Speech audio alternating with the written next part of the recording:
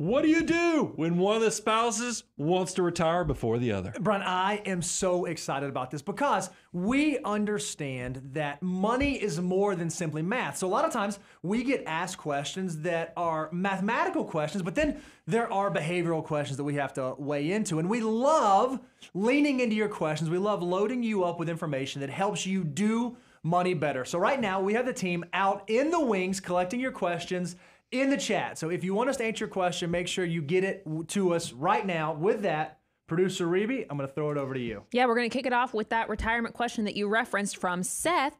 It says, "Is it wrong of me to quit my job and expect my wife to keep working?" my wife and I are on track to coast to retirement in about 10 years.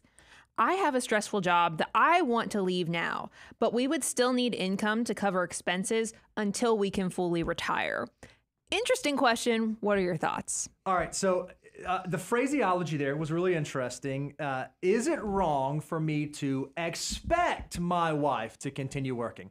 Uh, I'm gonna go out on a limb and say that the expect right there gives me my, makes my spidey makes makes my spidey senses tingle a little bit. Is there anything wrong though with one spouse deciding that they're going to retire and the other spouse continue to work? Not at all. And sometimes it is the wife that continues to work, and sometimes it's the husband that continues to work. What I think matters the most is that you guys are on the same page. You have the same conversation around ultimately what goal are you trying to achieve and how do you achieve that? So, Brian, I have some clients uh, here locally who are uh, very dear clients of mine uh, and the husband had a very stressful job. And the job was st- so stressful that it began to have negative effects on his health. So much so that he actually had a, a cardiac type event where he had to go to the doctor. The doctor said, Hey, y- you've got to figure out how you decrease stress in your life. And he said, "Well, look, doc, if, if, in the in the vocation in which I work, there's no way that I can do this job and not be stressed." And the doctor said, "Well, hey, maybe you have to stop doing this job." So he and his wife came and met with him. Like, hey, what do we do? And so we put together a plan that allowed him to step away from the workforce so that he could decrease his uh, decrease his stress, enter into retirement early. And we determined that she was going to have to continue working for another four to five years in order in order to bolster their retirement plan. But it's what made the most sense for the household based on the over the the overarching goal that they both had. So is it wrong for this type of scenario to play out? Not at all. Is it wrong for you to just say to your spouse, "Hey, I'm out, you're in. Good luck." I don't know that I'd approach it that way. So uh, when when I saw this question, by the way, what what a headline that, that we set up this this question with.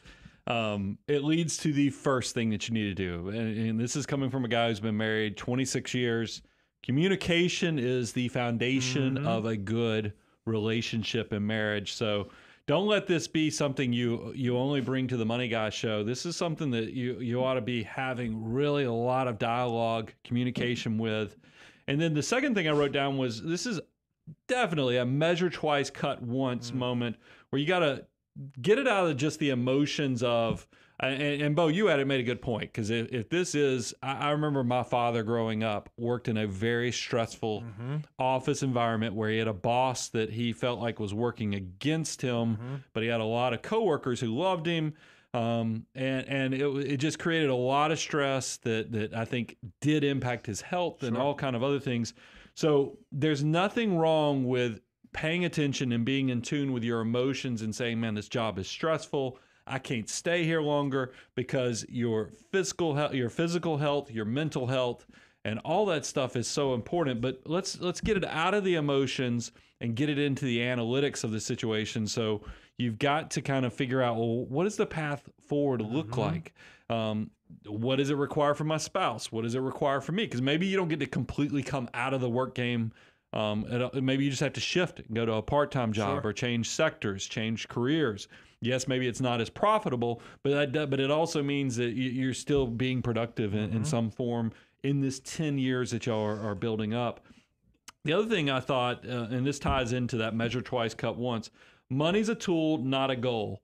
Um, spend time on the why because it really does. I think about Bo telling the story about the health issues and other things. If there is something like that that's just where Sunday night you're chewing on your fingernails, don't just let it just continue on like that for 10 years because I, I think that us as as humans it, it just there's a big cost when you just bury stuff and just hope it doesn't ooze out in some weird way through stress through disease through sickness. Um, but it does need to be a joint goal and it needs to be a joint path forward. Have good communication. And i think that probably your spouse will have the same concerns about health and other things that y'all will figure out a path forward. And if this is one of those things, because if you're in such a good place that in 10 years you think you're going to be a, a retirement, maybe this is where you take the relationship to the next level so you have somebody who sits between you guys who not only encourages good communication but also helps you facilitate all the analytics and that's what a good financial planner should hopefully bring to the table for you Yeah, I think a great tool set that you could use is if you've not done our Know Your Number course, this might be a great time to do that because what the Know Your Number course will allow you to do is define what is the lifestyle that we want to live in retirement.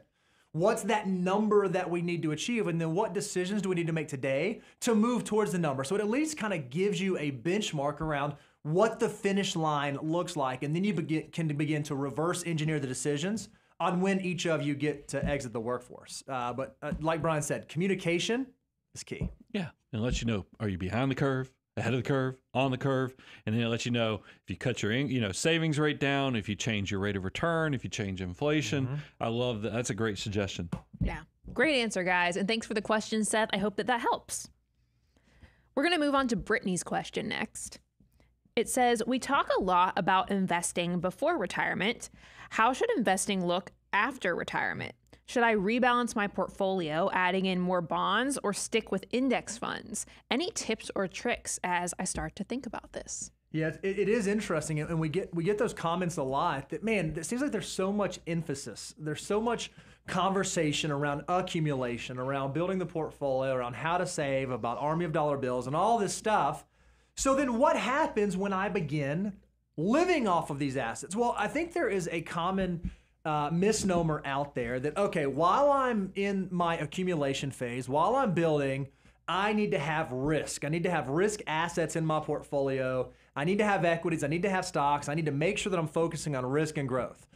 But then magically, when I retire, all of a sudden all the risk goes away. And I'm going to take all of my retirement assets, I'm going to take all of my investment assets, I'm going to put them in a coffee can in the backyard. Or I'm just going to hold them in some cash account. Well, that's flawed thinking because one of the reasons that we tell you that risk assets can be adva- adva- advantageous is because they can grow over the long term.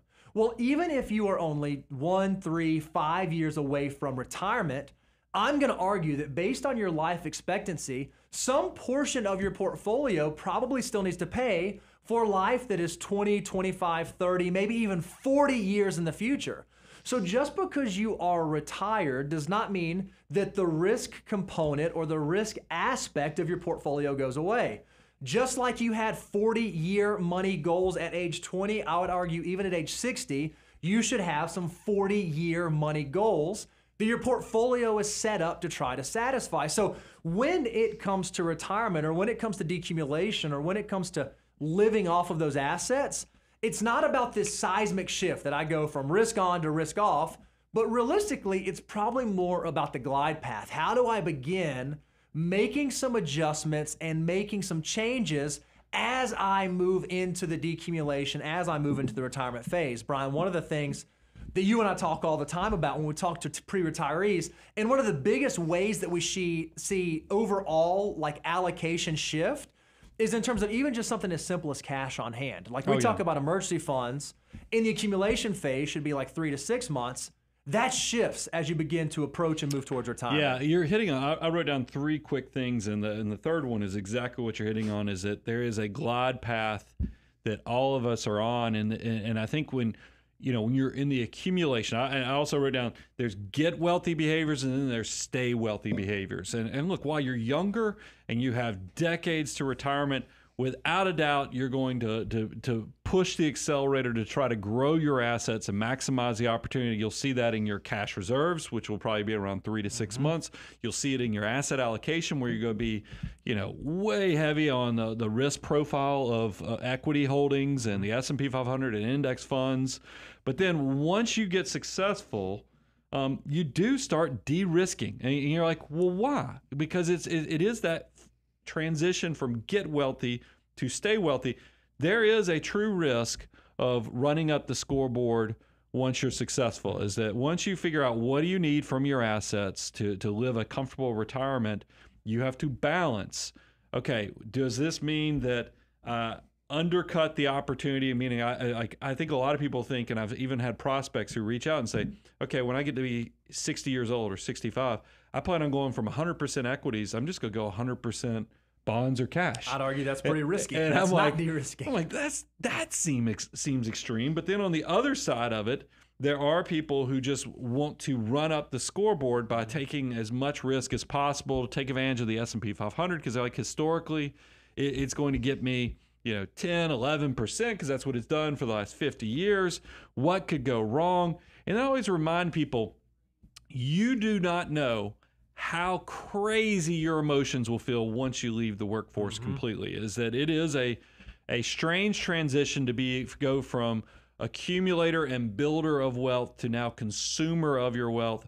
And then also you take out your your working because a lot i think there's a coping mechanism for most of us is that when the market gets beat up and has that two out of every decade two years out of every decade where the market goes into bear market territory and can lose 20% 30% 40 50% like 2008 um, and you're just like, oh, that's okay. I'll just work a little longer and I'll be able to get my money back. Well, when you've already retired, um, I want you to think about the fact of what happens if you lost 40% of your assets while you actually retired, like last year or two years ago.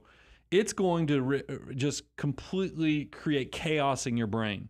So that I always tell people you need to have a glide path. You need to have a plan that reflects on all those things because it, you- you'll not only change the way you look at cash, like in retirement, it's un, uh, you go from three to six months to 18 to 36 months. You go from an asset allocation that still has equities in it so you can grow and, and build the legacy and the long term opportunity for your assets. But you might also have enough diversified stuff in bonds, um, cash, and other conservative assets that you could conceivably ride out mm-hmm. anything that comes your way for years. I mean, because you will have access to very conservative assets that no matter what happens in the world.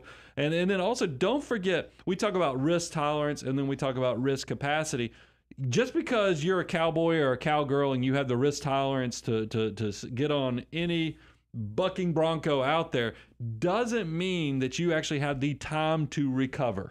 Um, and that that is a big part of this as well. So we we try to give every prospect every client and everybody we we try to teach you on how to do this for yourself is that to recognize that there is a a balance between how do we maximize opportunities but also minimize risk. And it's risk adjusted that's where the win is and that's what you should be working to understand because you know it's all back to the and, and i know that I, after i did a little research because i was like i've been saying this my whole life is pigs get fat hogs get slaughtered mm-hmm. uh, uh, you know there, i know there's another way to say it pigs get fed hogs get i can't no, even remember pigs but get fast the way you say it. yeah, I know, but that, but it That's is. It's, it's it, back to the the thing of. You can have too much of a good thing. Make sure you, you you balance between the fear of losing and the greed of trying to get as much as you can. Um, there's a healthy balance in there, and that's why typically when people are successful, this is one of the big things that, that I think a good financial advisor can can help somebody out with is because your life when you get successful just naturally gets really complex, and it's nice to have somebody who's not just done what you- one retirement because that's what you're facing. You've done this one time. Why not have somebody who's done this hundreds of times so that they can tell you what to expect, where your blind spots, and how to get the best version of, of, of everything you're looking for? Genuinely love that answer.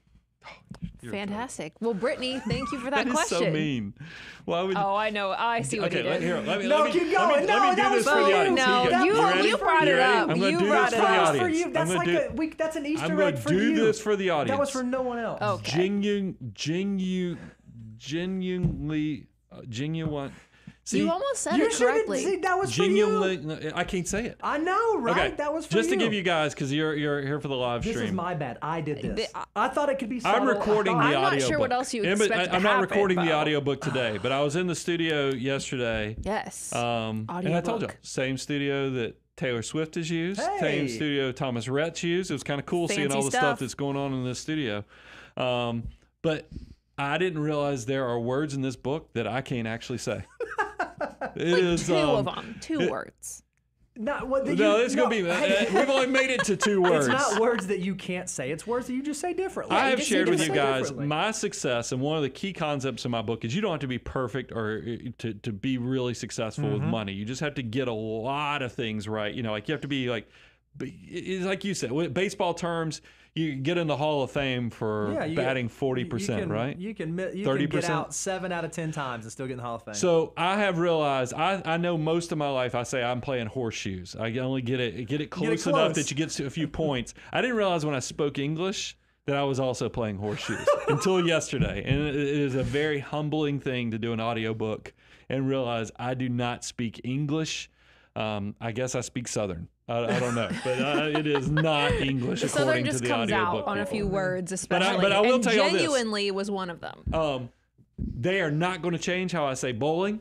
And they're not going to change how I say naked. So don't y'all don't worry. I'm going to put my Brian foot down Preston to those original. producers and just tell them, you know what, this is how I say these things, and this is part of the brand. You just love it. deal with it. I love it.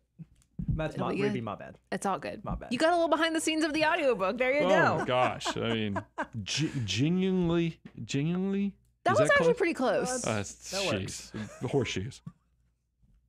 All right. Well, all that to say, I think we just answered Brittany's question. Just want to make sure I thank you for your question and thank you for being here. And before we move on to Frank's question, it says My company gives a 6% profit share plus a dollar for dollar 4% match. So it's at 10 plus percent total. I make 200K plus, eh, plus a 20% bonus floor. So, what should I count towards the 25% savings rate? Sounds like this guy has some really good complexity going on. So, how would you counsel him? Well, let's start at the beginning, right? Uh, dollar for dollar match on the first 4% is awesome, right? Like, that's amazing. It's why it's step two. Brian, you have a thing you can hold up. It's why it's step two of the financial order of operations free employer money. You have to go out there and get that. So, it's awesome that you have an employer that gives you a dollar for dollar match. Well, in addition to that, it sounds like your employer also does what's called a discretionary profit sharing contribution, where they're to put in 6% of your salary on top of what you're doing. So, like you said, you have 10% growing in. So, Frank has already told us, Brian, that uh, he makes 200000 plus a $20,000 baseline, $220,000. And he's trying to figure out, well, if my employer already does 10% for me, if I do 4% and then they do 10%, that's 14. How far off am I? Do I get to count it? Or does something with my income cause that to not be the case? Yeah. First of all, um, this is go. I, I always say hug your employer day, um, but it, maybe it's um, high five your employer go. because I've been told that we don't hug our employers anymore. And truthfully, I wouldn't want a bunch of people hugging on me either. But it's um, but it is one of those things. Your employer is, is setting you up for ten percent. That's incredible. It's amazing. And, and and within the financial order of operations, you got to maximize. Sounds like six percent is going to happen no matter what you do. The four percent, get in there, take advantage of that. That's awesome. Your question though, and this is this is a good thing. You make good money, and good money is a blessing. Curse is not the right word, but it does create additional Responsibility, responsibilities. there you go. And the fact that when you have a good income, there, there, there's you're you're further from the the public safety net, Mm-hmm. meaning that yes, you might might get Social Security, but it's going to be a much smaller portion of probably what your outgoing expenses are than somebody who makes forty or fifty thousand dollars. Um, so we want to build that into our plan, is because if you are spending because your employer is so generous, you've let lifestyle creep expand your lifestyle to where when you do get to retirement, you need an income that can replace 100% of what you were earning because you need your assets to be able to mm-hmm. produce that or other income sources because you got very accustomed to That to spending that yeah. and, and and it, that could be a problem. So that's why we have built rules into people who have higher incomes. So if you you at $200000 i would challenge you to yes your employer is very generous but i'd still like you to get to 20 to 25% of your gross income without the employer just because your income is so high mm-hmm. that I want to make sure that this is not catching you on the other side is because if you expand your lifestyle, do lifestyle creep just because you have a generous employer, you're not helping yourself. You're actually working against yourself in the long term because you're going to you're going to need that money to, to cover your lifestyle and it's just not going to be the retirement that I think you had planned for or hoped for. And what and what's the worst case scenario? You you save your 25% and then your employer also puts in 10%. So you're at 35% of your total wages going in. You might have options earlier in life than you would have otherwise. You might be able to take your foot off the pedal as you do get into your 40s or 50s or maybe early retirement is something that is realistically on your horizon.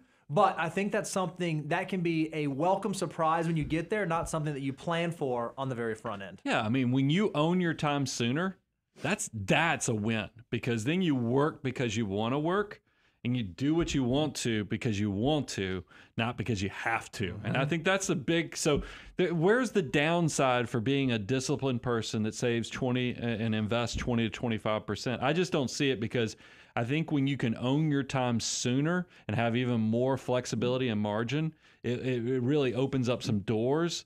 That um, versus the other side is just build your lifestyle, consume more, and then be unpleasantly surprised when you realize, holy cow, maybe maybe I should have been saving more money because I'm, I was successful and I was acting rich versus building wealth. It's great. Awesome. Frank, thank you for your question. Thanks for being here. Really glad we got to answer it today. Hey, Reeves, you ready? More tangents than a geometry book today. we just got a oh. comment here. Said, love your shirt, chop on. What do you want to say to that? We actually had a couple comments on your shirt. right? Mm-hmm. Well, I went on spring. Tra- I went to spring training last week mm-hmm. with my childhood friends. It, it is, and I've been telling everybody this. There is something unique when you've known people since you were five years old. Oh, yeah, absolutely. I mean, there is just no falsities in the relationships. It's um, no matter where life takes you, you're still those same I mean, we kids, still right? remember, you know, cr- I have crazy stories on, and they all know the dirt on me. So it's um, so it's mutual destruction. If if I, so, I won't say anything against them, but it's um, but it, it it's just it was fun, and I love that because we're we're old old enough. I even told a story. We went to a great Italian restaurant in Sarasota, and then we're so old that the, that we walked home. Because you need to walk it off a We need bit, to right? walk it off. I mean, I, I don't think I think you know we're just it's just different when you're older. But it's um, but we had a great time. It was a blast, and yeah, we got to see the Braves. Got to see uh, we're we're. I'm a Braves fan because I grew up in a, a Braves fan. My dad would watch Makes the sense. Braves because we got the, the, through the antenna. We got TBS, and um, so I know. Here's what's crazy. I could tell you the lineups pretty much from the 70s, 80s, 90s. I know all those lineups, Uh-huh. and I could talk about those players. If you ask me about players now, I can tell you because I just went to spring training, so I know a lot more. But it, but my friends, my childhood friends, are legitimate baseball fans, and it was fun being around people who were so what they're talking passionate about, about, yeah. know all the players. And um, so we saw that we went to several stadiums, saw the Orioles. Um, we, we even drove to fight the weather. We went up to Toronto's stadium down in Florida, and then we also, of course, went to to Braves to, to watch them play as well. Awesome. It was good. I am glad you had a good time. That's great. And by the way, th- these shirts are like the Masters tournament. It's a complete ripoff. Oh, I was about to say, But you, but you love you're- them, you're Exclusive, like what- yeah. if you want the palm tree with the Atlanta Braves symbol, you pay it You pay because you're premium. there. So you pay Mm-hmm. for the the memory, even though you just you hold your nose and know you're getting ripped off. And Brian did it because memories blossom. What do you say? Yeah. That's Well, what- yeah, something, well, something I, like I, that. I just I know here's what, here's where I feel guilty. In the past, I've always tight wadded it out, and I just I buy a hat. And then not only do I buy a hat, here's a little. If you if you go to the Braves do you Stadium, wear hats? No, I don't wear hats that much, but but it's the cheapest thing. So I'd go downstairs and they have a clearance section in Braves Stadium spring training. You go straight down. Matter of fact, when I got there, this th- th- I was like, "Hey, y'all still have that clearance section downstairs?" He goes, "Man, you've been here before," and I was like, "Yeah." So I went straight down and I asked the guy who was working the clearance section. I was like, "Where are your clearance hats?" And he goes, "Oh man, you know we're at the end of spring training, so everything's sold out now." So I was like, okay, you know, every year I buy a hat. I don't wear hats that much because why would you cover up this hair All if you have if, you- if you, if you ha- if you Fair have enough. this type of hair, you don't wear hats. And um, so I, I bought a shirt. I love it. I'm glad you did. You've earned it. So it looks good. So Love look, to see it. Have fun with that. One. Have fun with that one, Nate. That's not gonna be a highlight. Oh, That's something that gets thrown away. You just get that Nate, benefit that is for not a watching the live stream. Just saying that officially here for the record. All right. Um, okay, we do have more questions. The next one is for Helicopterodactyl. What is that? That's a username. A mix of a helicopter and a pterodactyl. hmm So the question says, Okay. we have been we're married we're in our 30s we're on step 8 of the foo and we have a 33.3% savings rate very exact and we are about to take a vacation for more than 50% of my first job's annual salary Yeah. when did brian and bo first think you know i've made it Mm. what do you think about this because obviously I, he, I, he sounds pretty uh floored at the amount of money that he's just spending, but it also sounds like he's earned it. So, do you have any thoughts on this mindset shift and reaching this phase of, you know, actually getting to the payoff part of wealth building? Yeah, it's it's really interesting because I think we all um, we all can remember early on in our careers or, or just starting out, and or and maybe some of you are still there. You're in that place right now, and you just think about the things like, oh man, you know what? I really want guacamole on my burrito, but it's not worth 258. Right? You know, like I just ah, I'm just not gonna do that thing.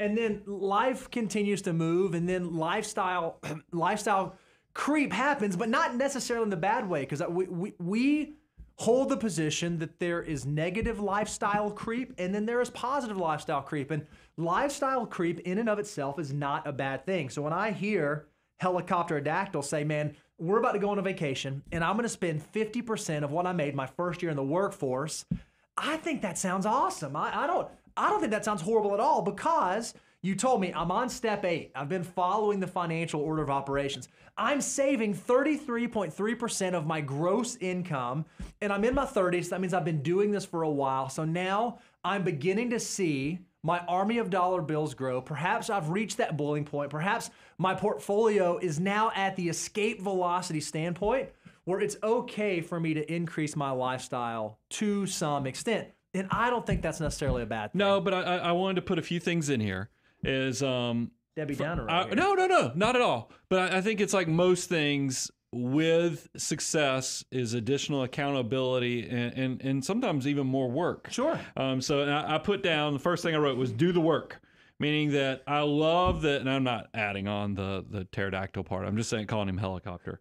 Um, but helicopter, do the work. Because I, truthfully, y'all heard I don't speak English that well, so I, I think I, I, think I blow You're it up. You're good. You're good. But do the know your number course. So at least do the great. research to see because here's the only cold water I have on this because everything that you laid out, that's why I was whooping it up, is that you you're, you're crushing it.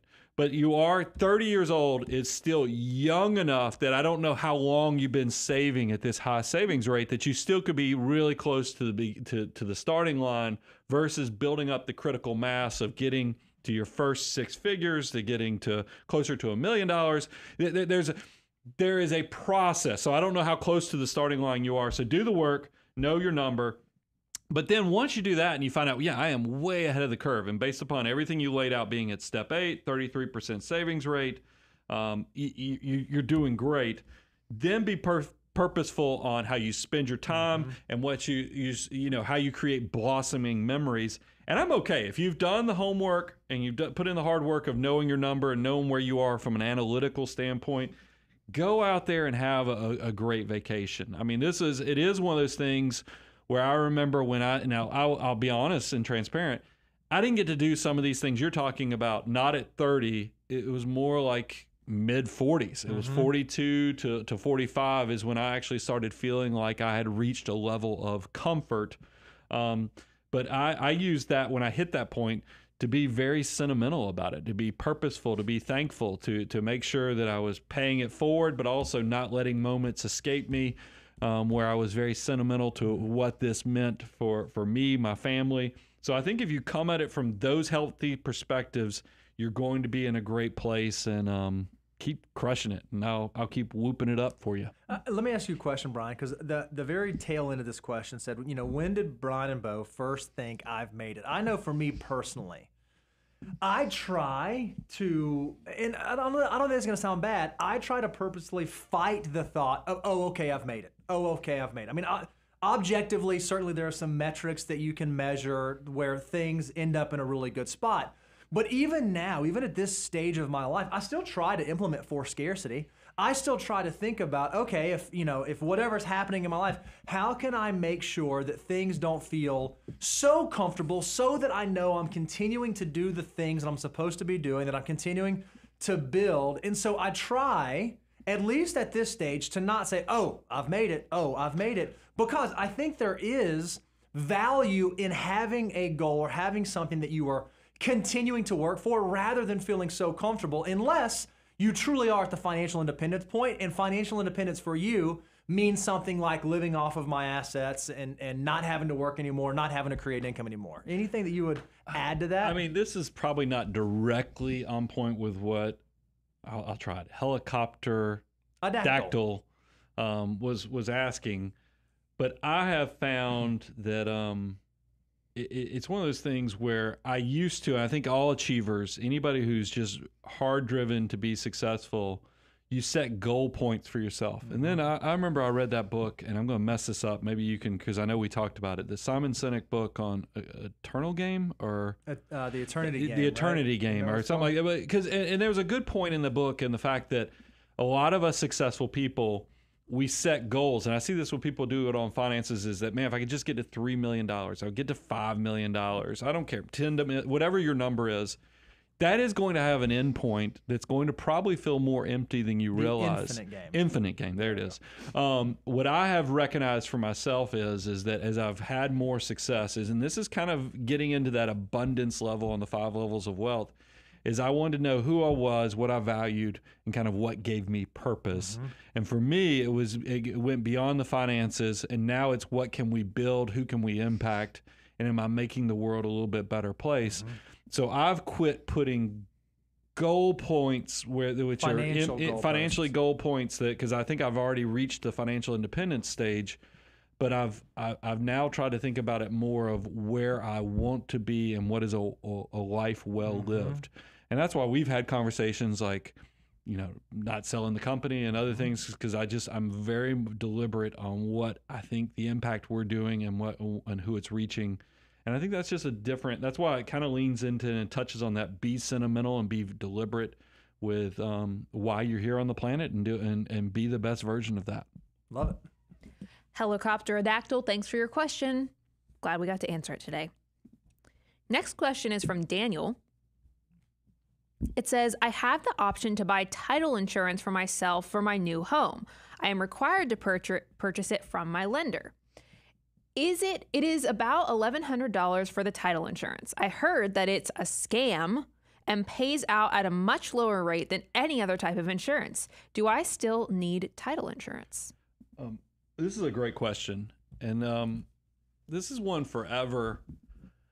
I kind of I just piggybacked on somebody I look up I to. was about to say, oh, that's exactly but but what I no, was but I, but I want to tell you, I've I've bought a few houses now, so I've got a little more of experience on on where you can squeeze on this a little Mm-hmm. bit. Is that Clark Howard? We all know Clark Howard, fingerprints You- all over go- me. Anybody from Atlanta, or even I know he's you know Clark All touches. the- he's all all, over the the place, but but I, I love me some Clark Howard, and Clark forever would be like buy that title insurance. Now here's what I recognized once I started buying houses, is that if you're doing a mortgage, your lender's already going to require mm-hmm. that that a title search and and buying insurance is already part of the process. What your goal should now be, and you can do some research on this, is keeping them honest that they're not double dipping, charging both of you the same cost. You, you want to kind of find out and do a little research and even squeeze them on, since they're already having to do the title insurance for your um, mortgage company. Can they get a little more competitive with that piggyback policy, essentially, that's already going off the heavy lift that you're having to pay for for the mortgage company?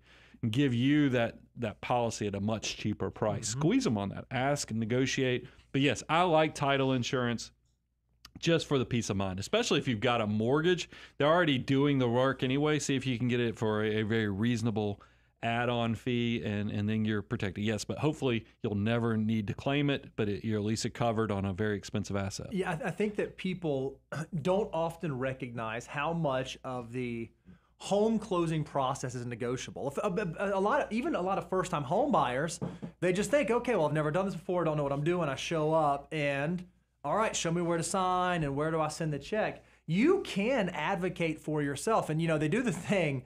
Uh, and I, I feel like it's almost up to fail, but you go in for the closing, and I think you told me you were one of the people who, at your very first home closing, you sat there and like read every. Well, they, they I think they tried to discourage you from doing that, from like reading all the stuff make sure you educate yourself. You ought to say, okay, well, what if I go out, Daniel, and I buy this title insurance policy? What's it protecting me from? What's the risk that I could run into where I would have to utilize this policy? And is that something that actually gives me apprehension? Okay, if the answer is yes, it gives me apprehension.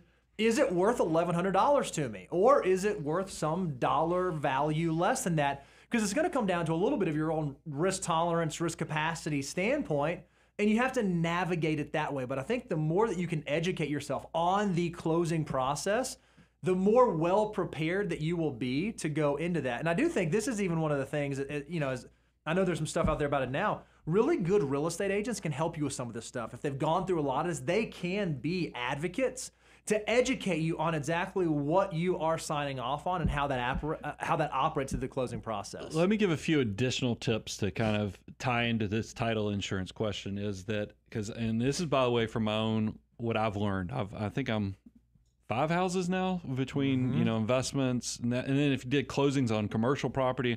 I'm probably getting close to, to double digit mm-hmm. closings for personal stuff. And then I've reviewed a bunch for clients. Here's here's some things you should know I showed up to my first closing with a checkbook. It didn't know anything about it. My wife and I, and I realized we were 24, 25 uh-huh. years old when we bought this first house. I showed up and they're like, "What?" Like, no, you have to wire the money. you have to wire doing, the son? money. And I was like, no, I thought I was going to just write a check. And there, I'm surprised they even let me get into the closing. but we somehow worked our, our way through it. But but here's so here's some things that I have done, being a person who's had a little more experience buying houses you don't go to closing unless they have, and you put them on notice that you need to see all the settlement statements mm-hmm. and you want to see how the money is going to flow out a few days before closing. You're not wired because they'll tell you a lot of. T- I, th- I think a lot of times with title companies, they just give you the amount you owe and then they mm-hmm. expect you just to wire it. No, I want to see That's how they broke it out. I want to make sure. And even before that, I'm negotiating on the title insurance and other things. Mm-hmm. But there's nothing wrong with you advocating for yourself to want to see all the numbers, make sure you agree with everything, and make sure you're on the same page. And then once you agree on everything, you, you, be very careful with the wiring process. You will mm-hmm. wire the money, but criminals have gotten very good because it's not uncommon with data breaches, especially with uh, real estate attorneys, is that they can get in and then be in, in, an email account and then find out who closing you know closing things and then send a bogus email with false wiring mm-hmm. instructions. Mm-hmm. So that's why even if they email you wiring instructions and the letterhead looks good, I would c- go on the Google. I called it like an old man. I'd go on the internet. Go on the, go on the internet look up the title company from um, from the internet. You know, directly Google search it or however you, you find it. Call the, the number that's on the internet. Then talk to you know the person. Verify the wiring instructions. Then wire the money to make mm-hmm. sure you're in a good place. Um, and, and, I think those are just some of the tips that I would do. Don't show up with a checkbook. You're going to wire the money, but you'll need to be very cautious about wiring because a lot of times you're on the hook if you send it to a criminal um, and then just make sure that you you see the settlement statement so that you know where the money's going. Congratulations on closing your first home. That's no small feat in this real estate environment. Absolutely. And and by the way, the, the settlement settlement statement lets you not annoy the attorney by reading every. You still go go through the forms sure. and let them explain, but you're not going to sit there and go, what do you mean this costs this much? you will have already had it in your privacy of your own home. You'll be able to have those conversations with yourself. Good advice. All right, we're going to move on to Tyler H's question. It says, Is there an advantage to a Roth IRA versus a Roth 401k? I hear lots about the IRA as a great tool and not so much about the 401k besides the match. Am I missing some advantage of the IRA? Well, let's go through some pros and cons, right? so you have Roth IRAs and Roth 401ks, and you're specifically asking what are the advantages to the Roth IRA over the 401k? So I'll speak to that and then you can talk about why the 401ks are awesome. Uh, so not all 401ks are created equal. Some of them might have uh, a poor array of investment options. They might be uh, heavy laden with like insurance type products, really expensive underlying investments. And so when you look at that, you may determine that, man, this 401k, even if I did Roth, is kind of expensive. With a Roth IRA, I get to choose my provider. I can go look at a Fidelity or a Vanguard or a Charles Schwab or a fill in the blank, and I get to choose the investment options in there. If I want to go buy a super low cost index fund or target retirement index fund, I can do that. So, Roth IRA, I get to make all the choices around that. So, there's a really good chance that it's going to be less expensive because of that. Additionally, Roth IRAs don't have a third party administrator or a record keeper that are having to charge to administer the plan. With a 401k, those costs are there. Now, with a lot of companies, the or with a lot of 401ks, the company might cover the cost of those plans. But again, with a Roth IRA, you get to pick and choose, so the costs are likely going to be less. And then this is the third advantage I would throw out there. When you leave a company behind or when you change jobs, if your Roth IRA is at Fidelity or at Charles Schwab, it can just stay there as is. You don't have to go through HR, you don't have to communicate with anyone else. You can let it just sit there and stay the way it is. With a Roth 401k, there's a chance that you're gonna have to continue to maintain a relationship with your prior employer or with the prior provider so that you can get information on your account. So I would argue with a Roth IRA, the ball stays a little bit firmer in your court around the decision making and communication. What would you say the advantages, Brian, to Roth or to the 401k side are? Yeah, well, 401k, look, it used to also be, just from a historical context, Roth IRAs in the past didn't have required minimum distributions, whereas your Roth 401k did. However, they fixed that little Mm-hmm. quirk. So that's good.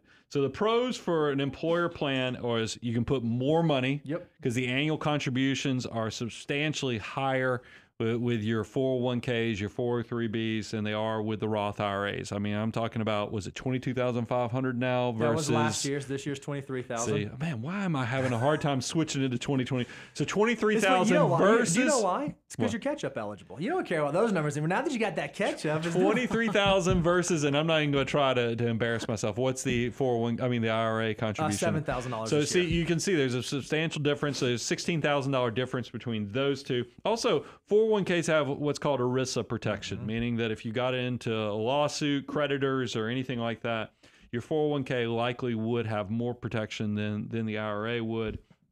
I'll just uh, the the cons. Bo already kind of set them with the 401k as the investment choice. You, now, there's a good chance if you work for like a big corporation, um, you, you might not have a negative thing because if they're already Mm-hmm. Working be with like the Fidelities, the Vanguards, or the Schwabs, and you have low cost, you get all the protections, and your employer's covering all the costs. That's that's a solid thing, but that's not for for a lot of the small plans. And then there is that awkwardness as if you leave um, your your your your employer, you probably are going to have to reach out to somebody in HR or whoever does payroll or bookkeeping for for your former employer to get access to the rollover paperwork, um, or you have to worry as my account over. You know, was it five thousand dollars or whatever? Or It they- depends on how either 1,000 or 5,000. yeah, they could, but they, you don't want to be forced into a distribution. If it gets big enough, they can't do that to you, but still you have to deal with an old employer, Mm-hmm. um, which has some complications sometimes if you don't leave on, on best of terms. Only two things I'd add to that. Uh, with the 401k no income limit, Roth IRAs, Oh, if true. you make That's great. over a certain income, you can't contribute to a Roth. With a 401k, that's not the case. And with uh, 401k, there's a match, right? So don't ever forego your match in order to do a Roth IRA because matching money in 401ks is so, so, so, so valuable. What's funny is that I can see over here, Bo has a sticky note with four things on it. I see check marks next to two of them. I failed on those I- other no, two. no, so, just, so no, there you go. Just, just different strokes. That's all. Playing horseshoes. That's it. I just want to make sure we give nice, good, thorough answers. That's I all. love it. You got two of them. Now he's going to do I the had the other benefit two. of taking notes while you were talking. That's right. Fantastic. All right. Well, Tyler H., thank you so much for that question. We're going to move on to a question from Homegrown Hillary. It says Can you explain the difference between a spousal IRA and a SEP IRA for a stay at home parent who has a side hustle? Okay.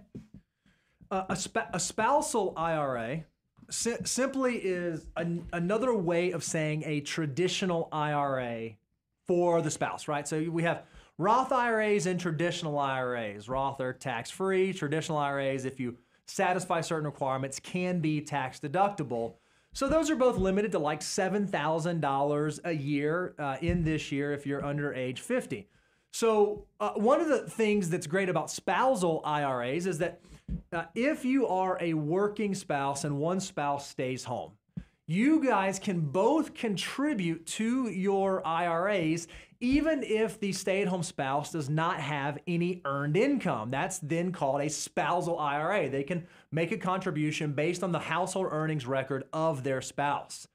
That's different than in this situation, homegrown Hillary says, hey, uh, I, what's the difference in a spousal IRA versus a spouse who has a side income that might be able to do a SEP IRA? Well, when the spouse has an income, that changes it. Now they have a SEP IRA availability. Yeah, a, a SEP IRA. By the way, if you have a side hustle, side income, that that's considered earned income. Mm-hmm. That's self-employment income. It's going to be subject to Medicare, Social Security. By the way, if you're wondering what's earned income, anything that's subject to Social Security, Medicare, or self-employment taxes is kind of what's on that that threshold. SEP IRA is going to be um, funded at 20 to 25 percent of whatever, depending on how it's structured, because you have a, a, a self-employment tax adjustment on there. That's why I give you a range on that. But it's um it's going to be off of how much you made on the side hustle. The spousal IRA has zero earned income as long as your spouse has earned income, and it lets you essentially use a portion of your your your working spouse's um, earned income to to apply for your own benefits. So that that's the big difference. Is I would tell you if you're actually doing a SEP IRA and a side hustle and you have a good amount of money coming in because remember I said that the profit sharing from a SEP IRA is only 20 25%. You actually might be able to do both. It's just but you wouldn't do a spousal IRA. You just go do a set up a Roth IRA or a traditional IRA or plus a SEP IRA. You can you can do both of these um, without concern. Yeah, one one of the things that I would encourage you to think about because we've we've seen this happen a few times is make sure you do the math on which one is actually more advantageous. We've seen it happen before where a spouse will have some sort of side income, and let's say maybe it's two three thousand dollars of side income, and they immediately think, "Hey, I'm going to do a SEP because I can do that based on that earned income." Well. If you happen to fall into the place to where you can deduct your traditional IRA contributions, it would be more advantageous for you to take a $7,000 traditional deduction than make a 20 to 25% contribution on two or $3,000 of side income. So make sure you understand which one of those is actually the most advantageous for you. I think as you get into higher side hustle incomes, the SEP or the solo 401k are going to be the ones, but at those lower amounts, it's worth measuring twice, cutting once on that. You could do the SEP, you know, take the tax deduction and then do the Roth IRA and, yep. and get the tax-free growth. I mean, Love it. There's all kind of opportunities here with with for homegrown Hillary. And by the way, I don't know why when I see it here, homegrown Hillary, I think of clogging. I don't know why. It just but that name. It just it sounds like it's, it made me feel. And maybe it's because I, I, I mean that's just where I grew up with. I just didn't expect that. If you would I was me thinking of 10,000 guesses know, to guess what came to your mind, clogging was not going to be on there. Maybe it's because when I was at spring training last week, you know, there it- there? there was some clogging on That's one of the it was. dugouts. That's what it was. He, So- it was that's and, and it made me think of because I, I mean it's not uncommon. By the way, if you come up here on Saturdays, Uh-huh. have you been up here on Oh yeah, Saturdays? yeah, yeah. There's a bunch of cloggers that come Uh-huh. out here on the Franklin Square, Hmm. and are always because when I come up here and work every now and then, and bring my daughter, she loves just looking out Just the watch window, them. watching them awesome. clog on on the square. That's amazing. I mean, hey, maybe Hillary does clogging. I don't know. I That'd don't be know cool. why I mean, homegrown nothing, Hillary nothing wrong sounds with like that. it's a I just was clogger. really surprised. That is What- not If what I was a thought of. clogger, that would be my name. what kind of plot twist would it be if the side income was for like for a clogging clogging gigs like that homegrown performance. Hillary- Yeah, that would be great. Also, the the hotel I stayed at for spring training, they were hosting a ballroom dancing competition. Did you uh, did you enter No, in? we didn't get it. We were there for spring training, but I thought it was fascinating because as we were You walking to the car, you could see in the convention centers attached, they had all these rows of like these fancy dresses that they were like vendors and and other things for ballroom dancing. Like selling dresses? Like Uh, or like I, I guess I don't know. We didn't go in. that's wild. I mean, but it was a lot of sparkly stuff all set up. That sounds Well, fantastic. sounds awesome. Okay, we're going to move on to Ben's question next. It says, We've been investing in our HSA and keeping receipts for many years. Hmm. Would it make sense to keep maxing our HSA contributions, but start cashing in old receipts to allow us to contribute more to our Roth accounts? You always talk about triple tax advantage in HSAs, so I'm curious to hear what you say. Okay, let me think through this. We've been contributing to our HSA, and we're saving a lot of receipts. So we Mm-hmm. Yes. have about a lot of like built up expenses. By the way, for those of you that don't know, uh, if you're one of the four percent of the population that's doing this, you do know it. If you're one of the 96 percent that do not do this, listen up. With health savings accounts, you can put money in, get a con- uh, get a deduction on the front end. You can invest those dollars. They can grow tax deferred, and then if you use it for future medical expenses or prior medical expenses that you incurred while covered by a high deductible plan, all those distributions are completely tax free. Only 4% of folks do that. We would encourage you to be one of those 4% if you can. So Ben says, All right, I'm putting money in the HSA, I'm saving the receipts.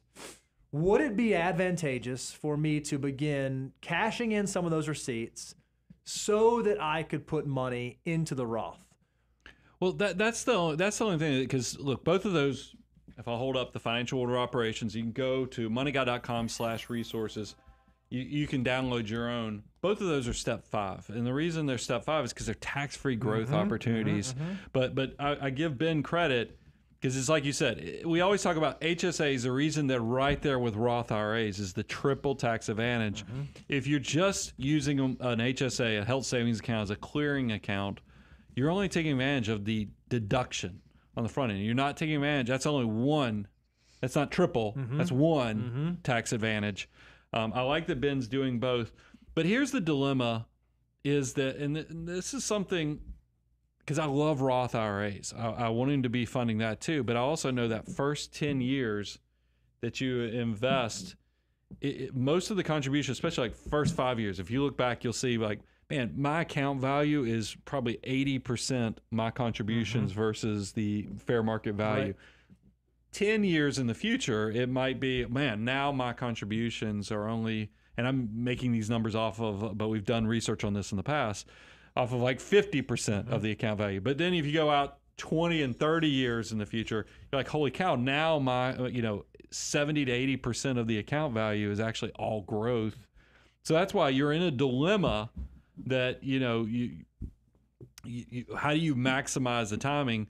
But then I bring it back to the point of, but, but I really like Roth IRAs too. He's getting the tax deduction, do the Roth. So I think you create a system that you kind of that reflects because I don't like you not doing a Roth IRA also. Well, I think that in my mind, as I'm thinking through this, I think they're the same. I think that they're equivalent while the dollars are sitting in there. If you have receipts to justify, that money is the same whether it's sitting in a Roth or whether it is sitting in HSA. as long as you have medical expenses that offset. That's right. Now the earnings are what change, and this is the only this is the only thing that I'm thinking through academically why it might Yeah, make sense. because the HSA is going to have a limit on the tax free, meaning you have to have expenses. You have to have expenses. whereas the Roth does not. True, but I'm going to argue that it's healthcare. We're all, we're going to use we're all going to have enough money on healthcare as we get older to be able to burn that money.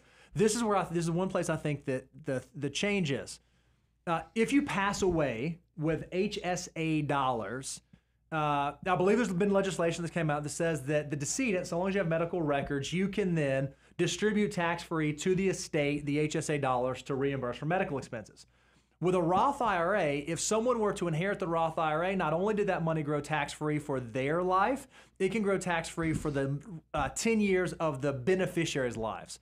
So I think from an estate planning standpoint, the Roth might be slightly more advantageous than a HSA, right?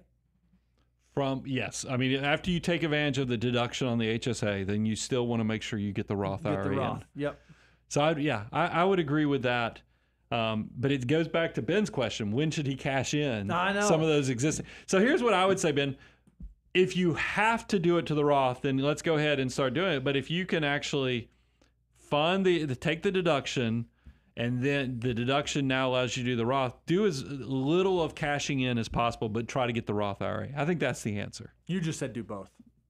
No, I, I, I said fund the HSA, but then sell enough to where he can then fund his Roth IRA, but not a not an ounce more, so that he can continue to let that four percent double and triple um, tax advantage work in the HSA. Okay. Man, we made that about as clear as I think they're as a pretty. milkshake. Hopefully that's that helps that- out. it- it's a hard- Give it's a- some. We yeah, I don't know if there's one It's perfect hard. answer there. It's yeah. really hard. Well, 'cause it's they're so nuanced. I would I would love to see. This is the problem. I, I hate it when in financial planning I say they people ask me a question. I say, well, it depends, mm-hmm. and then does and then I need It to see your depend. data to give you the exact personalized information for your situation. So I'm trying to give an answer that even though I don't know all of Ben's things that that works, and, and and that's hard. Well, Ben, we appreciate the question, and we do hope that kind of helped you think through some different nuances of your question. So thanks for being here. Uh, Natasha's question is up next. It says, My fiance and I want to buy a home. I've been saving for a down payment for almost two years, but he has a lot of his money in retirement accounts.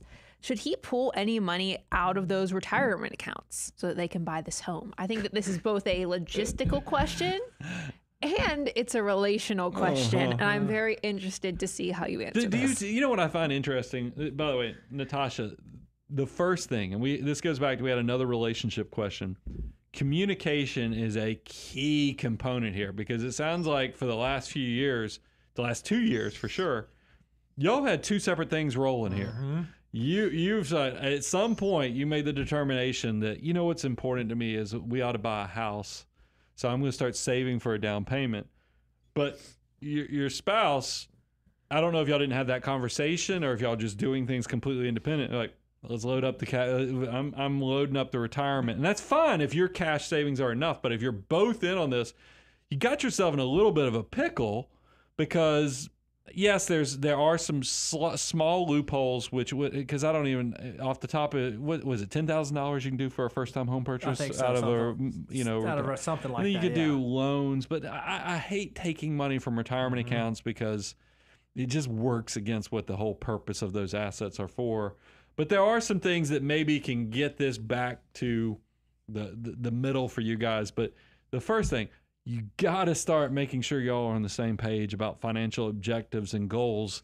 Um, because that that's just that, that's a problem when they're when they're going in two And different can I say directions. neither of those are bad goals? No, That's the not thing at too. all. Like I don't know, maybe you're gonna come together and find a way to like take advantage of the things that you've done. Mm-hmm. But I agree. It does sound like they're saving to two different things. It- and it's interesting. This is what I don't know. Uh, it says my fiance and I want to buy Oh, a fiance. home. Okay. So we don't know how we don't know how this- long that's you, true. you Good guys have been engaged. So maybe Right. y'all may, maybe y'all have not been on different pages. Y'all just came together and now you're wanting to buy a home together. But you know, as you get married and that kind of stuff, which, which is great.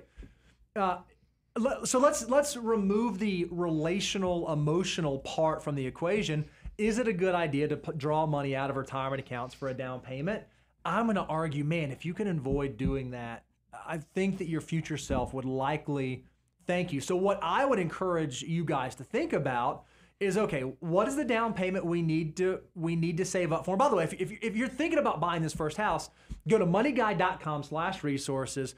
We have tons of home buying tools out there. We have calculators we have checklists we have all kinds of articles that we've written to help you make sure you're making this decision really really well. Because one of the unique things that is unique i think to our perspective is when it comes to that down payment rather than having to come up with a 20% down payment, so long as you can make sure that your total housing cost does not exceed 25% of your gross income, you only have to come up with 3 to 5% for that down payment. So I would figure out okay, based on what we both have readily available in after tax non retirement assets, how far away are we from that down payment? And how long would we have to continue on our current trajectory to get there without pulling out of our retirement to do that? Because I just think that you're going to find when you start using retirement assets to begin funding those types of goals, even though they're like admirable, wonderful goals of home ownership, that money becomes really, really expensive, especially if you're doing premature distributions, especially if you're having to pay penalties and ordinary income tax rates on those. It just becomes so expensive. So I'd love to see the two of you put together a plan that allows you to accomplish that without having to go into the retirement coffers to do so. Yeah, and lean on the home buying checklist, and then if this is y'all's first house, that three to five percent down payment it should provide a lot of grace, and then start having good conversations. Because Bo makes a great point. I didn't I, I didn't catch on to the They just got engaged part. in December. yeah, so I mean this is. I, I, Congratulations. Communi- great point now to start having great communication. Take advantage of the three to five percent, and then I'll figure out how you can um, work those goals out together. Love it. Rib, was that good? We give enough. We give enough meat on that one. Yeah, I think you did. I think I think you're exactly right. You gave the non-emotional, like, hey, I don't know if retirement account is the place you want to draw money from, but um, yeah, you gave a lot of good advice. I liked it. Awesome. If Ribby signs off on it, we're good. Natasha, I hope that helped. Uh, and honestly, congratulations, because it sounds like this is pretty recent. So it's Uh-huh. great that you're asking these questions and that you're wanting to get on the same page and have these financial goals. So I think that that's fantastic. And we're glad that you're here. And hopefully, um, we're going to help you consider those things as you watch the Money Guy show. Okay. Andrew's question is up next. was that Andrew or Andrea? Andrew. Andrew. Don't be picking on Reby. I was going to say, I, thought wrote- I said it pretty no, no, I clearly, but hey, hear. that was on me. That's me. I'm very sensitive to how people pronounce things now. I was genuinely not picking on you, Ribby. thank you. Appreciate that. I think I'm just hypersensitive now. Okay, well, Andrew asks My employer gives us an annual bonus, which can be taken as cash, leverage stock options, or a mixture of both. How do I think about which option to take? Wait a minute, let me get this right. Annual bonus, leverage stock options. What was the other two options? Cash Cash. or a mixture of both. Oh, okay. All right. I'm. And um, bonus ranges from 5 to 10% is the last piece of information. So, how should he think about which option to take? Uh, okay, I want to I want to be clear here. Um, I I, I don't know. I want to make the word leverage here threw me off. Yeah, I, yeah. I don't. I'm gonna go out on a limb here and and ask Andrew. I bet there's not like leverage stock options. I bet your bonus you're able to choose. Do I either take stock options or cash? That that's a more common thing that we see. The levered thing kind of kind of threw it off on me.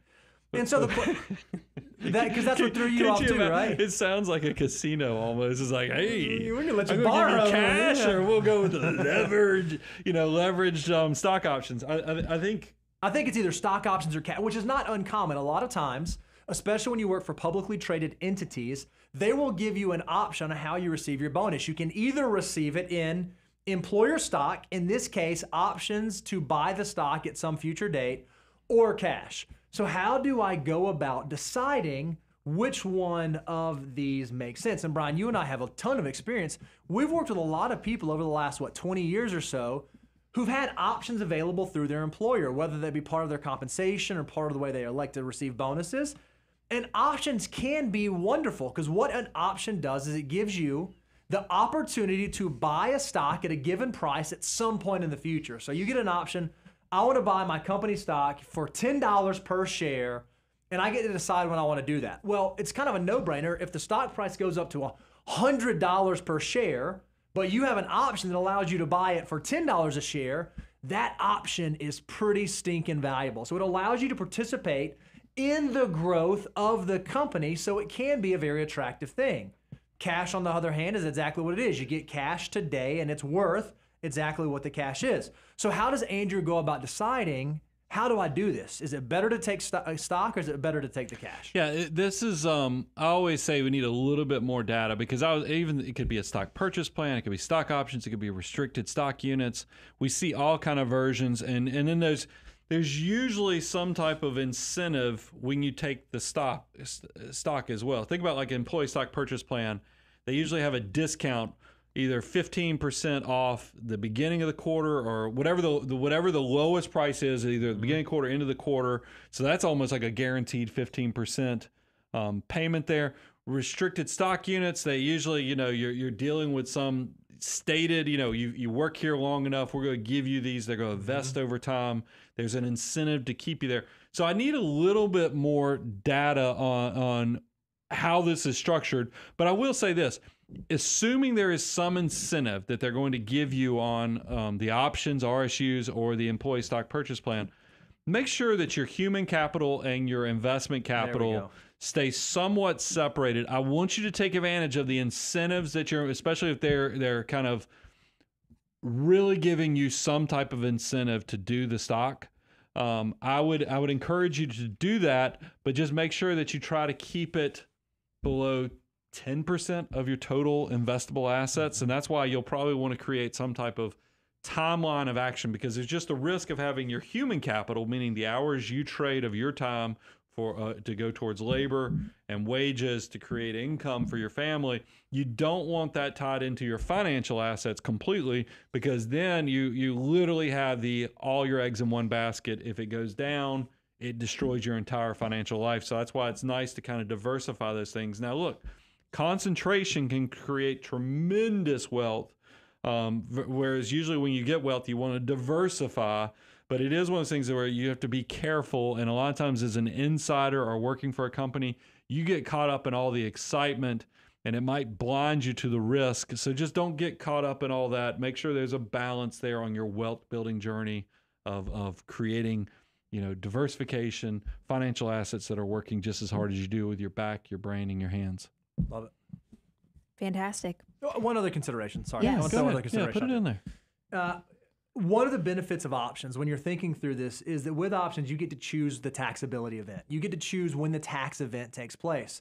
So one of the things that may be going on with your employer is they're giving you, if you receive the cash bonus right now, it's going to be immediately taxable to you this year. If you were to receive the options, there's a good chance that the taxability will be deferred until some point in the future when point. you exercise those options.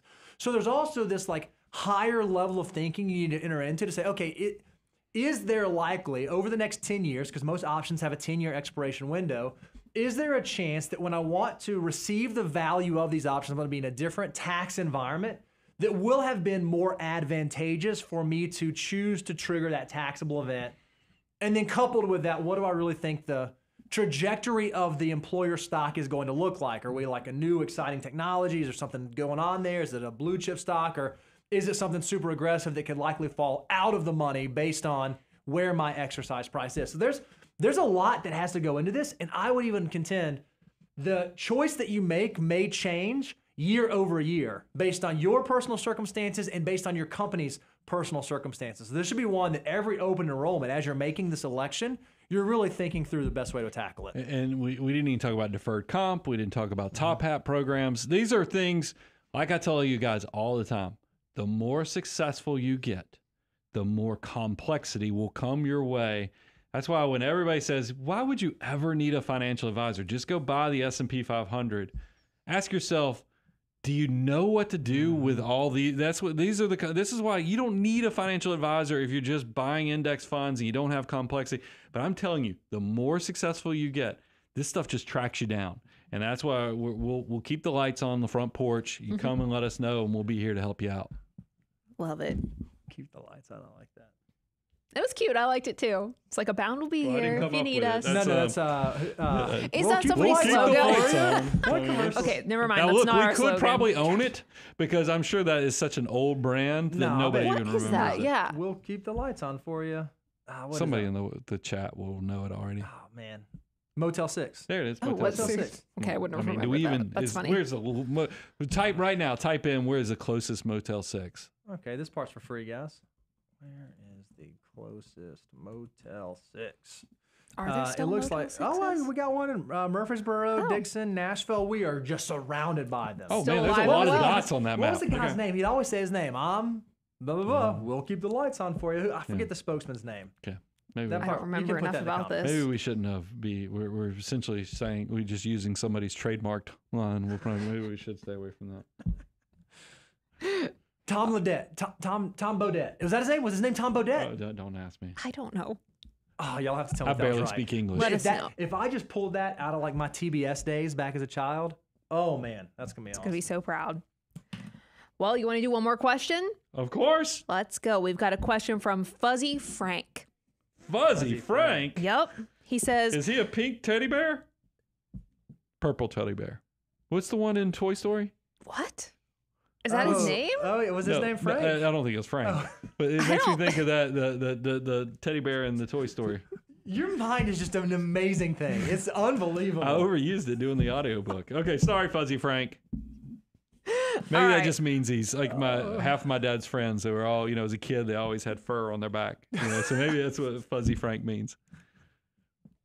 All right. this thing is off the rails. I'm sorry, Fuzzy Frank. We'll just start over with your Not question really now. sure what to say, so I'm just gonna go back to the question. it's his name.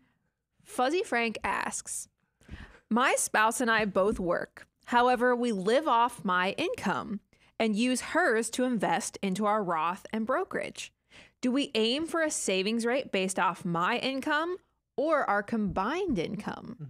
I like this strategy though. I think it's smart. Both. Living off one income if you can do Tell that. them the details. Yeah, yeah. So, so I love, I love the way y'all are doing this. We live off my, we live off of my income, and we save off of her income. That sounds great. But what if, what if you make two hundred thousand dollars a year and she makes twenty thousand dollars a year? Well, now you have a little bit of problem. So while it's great that you might be saving her income, I'd argue percentage wise, you're not saving enough. So the best way that we think to take about this is you add up both of your gross incomes and your savings rate should be based off 25% of that number. Household income. That's it. That's the one. And if you're able to do save 25% off the gross number, if it just so works out that that is 100% of her compensation, then that's great. If you make $100,000 a year and she makes $25,000 a year and you save all of her income, then that math works. But you have to make sure that you do the actual exercise so that you don't fall into the false sense of security. Oh, we're saving enough. We save all of hers and we live off of mine. You got to make sure that actual mathematically it makes sense. Well, that's what I sometimes we've had questions in the past where somebody says, "Man, I save 35% of my income, but my spouse won't save anything. what do I tell me how to fix this?" And I'm like, "Well, you're not really saving 35%. You're saving that of your income, mm-hmm. but you need to look at your household That's income." right. And then I would now start having a conversation. It doesn't sound like Fuzzy Frank has this issue because it sounds like they've actually been very deliberate with they're going to live off one, save the rest. I just want to make sure that, that now you consolidate that into a, an actual united plan um, where you understand what you're working off of. And that's why the net worth statement and all those things, when having those romantic meals where you're actually discussing your goals and what you're, you know, what you're planning for in the future, can be so beneficial to the communication of, of a healthy relationship. And I, I think that you, you ought to think through, like when it comes to opportunities available to both of you, I would not compartmentalize, oh, well, we're just going to save off of hers, we're going to live off mine. Because what happens if, like, your 401k is way better than hers? Like, what if the options are better, the matching is better, the, the choices are more attractive?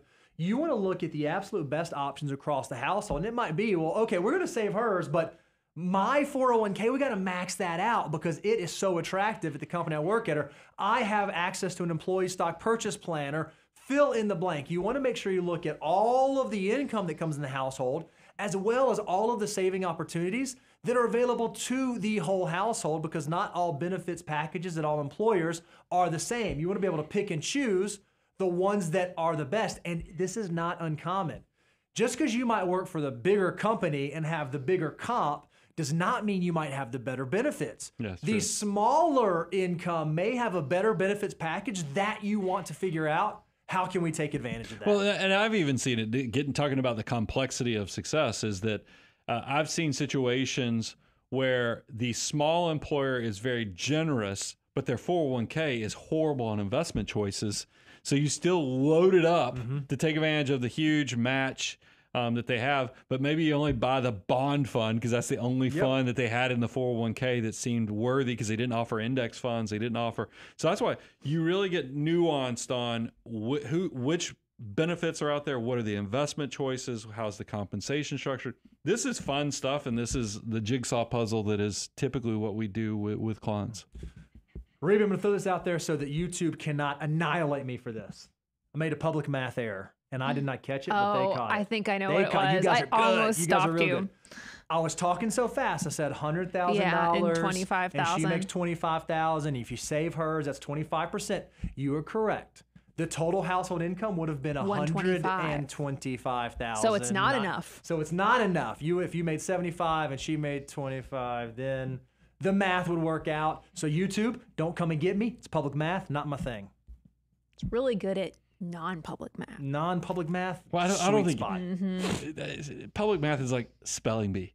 Yeah, right. Yeah, it's I like there's a mean- lot Wait, of what? pressure. Uh, yeah. no, it's just being put on the spot. But yeah, no, it's being put on the spot. No, spot. but being yeah. put on the yeah, yeah. spot, Like, if you you're can writing actually and be thinking good at about how to spell something, but it's just word. when somebody makes you do something. Think about whenever Yeah. you're trying to type an email. Oh, yeah. And somebody comes and stares over your shoulder Oh, while yeah. and you ca- you write your name four different times. Uh-huh. I mean, that's that's that's kind of what public math is. That's right. Is is the you know you just you're good at something, but the just the moment stress creates you making mistakes. You know what's funny about spelling bees? I bet if we went on this room, everyone kind of re- can remember the word that got them out at I don't. whatever age it was that got them out. You don't. I never did a I- spelling bee, here's so what I remember. I don't Out know. First round, every time we did a spelling. out every time. I mean, I just. Okay. I mean, because uh, I can't spell anything. So maybe so if, if What was your word, Bo? What got you out? Ke- Quiche. quiche, can I be Starts with a honest? Q, right? Can I be honest? Still don't know that I got that I one know. down. I'm like, right? Let's start with I don't know if I Q. could do that. on Why the are they asking? Because I think I was like third or fourth, and I'd advanced pretty far. Like I was pretty Mm-hmm. proud of it. That's the one that put me out, and That's it still funny. sticks here. I got baggage from that. Uh, to this really day, I don't ever put the word quiche in an email that I'm writing. I'm also a financial advisor. Don't write a lot of quiche emails, so So this you saying quiche makes me think of like when we went and visited my mother-in-law most recently. I, I was like, "Are we gonna have food when we get there?" And, and Jennifer was like, "My mother, uh, she's gonna have a quiche." And I was like, "For for dinner?" and I was like, "Cause that's like eggs. That's like Right, that's yeah, you breakfast can- well, you food." can have a And I dinner- don't know, but dinner quiche. uh, Hey, so breakfast for I'm not a big fan of quiches. No, I'm gonna say it's because my, my man Bo was was wrong I by was the word wronged. quiche. So out of being a united front, I refuse to eat your quiche. I love it. Hey, solidarity, brother. That's right. What was? Do you remember yours? I never did a spelling bee, so Oh, it's your homeschool. Homeschool. Homeschool. I mean, I'm sure that there were homeschool spelling bees. I just never did one. So no, I Those don't, are I don't typically have the this winners of the traumatic spelling memory. bee. oh, that's. I was hilarious. spared the trauma of a spelling bee. I'm not mad about it. That means your mom didn't think that you were you were good at ask- spelling and didn't want You'd to ask put you under the Dina if she homeschool can- pressure. She can send No, us she some of probably those was like, spelling "We bee don't need to videos." do that. We're fine.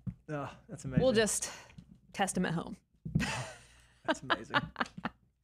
Well, all that to say, guys, this has been really, really fun. Obviously, thanks for letting us go off the rails sometimes. Wow, we genuinely love answering your financial questions. So we'll be back here Tuesday, 10 a.m., live streaming for you. And until then, make sure you check out moneyguy.com. There's tons of free calculators, free resources, archived episodes. So if you have more questions or just want to keep brushing up on your finances and being motivated in your wealth building journey, head to moneyguy.com. We made it for you. It's there even when we're not live streaming. So thanks for being here. and by the way, we cannot overlook the fact May 28th is still the launch date of Millionaire Mission. yes, sir. Um, by the way, this is we have a new and improved version of this picture that will be going up hopefully, potentially, I love how just- right before the stream he was like, Potentially. "Well, Just Ruby has to approve it. Like we're gonna see Yeah, if it Ruby- fits." I did. I we and that now it's a now he's conversation like, about this, and you just new spoke it into being. No, I in front of- didn't. I didn't mean to. millions the of people. The Publisher right now. sent us a nice picture, and we're considering putting it on stage. We'll see if You, it, if you it makes what he did? Stage. He said we're considering, but by him saying it right now, he just solidified that it has to happen. All I'm trying to do is draw May 28th, He just wants to 2024. know about the I have a book. He's book, my first inaugural book, be. Millionaire Mission, a nine-step system. If you go to moneyguy.com slash millionaire mission, you can level up your finances. I'm your host, Brian Preston, Mr. Bo Hanson, Reby and the rest of the content team, Money Guy team, out. I wasn't trying to create drama.